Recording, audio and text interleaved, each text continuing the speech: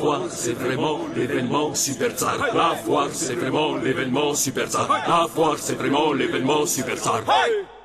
Foire européenne de Strasbourg du 1er au 11 septembre au Parc des Expositions de 10h à 19h et nocturne 100% Russie les samedis jusqu'à 22h.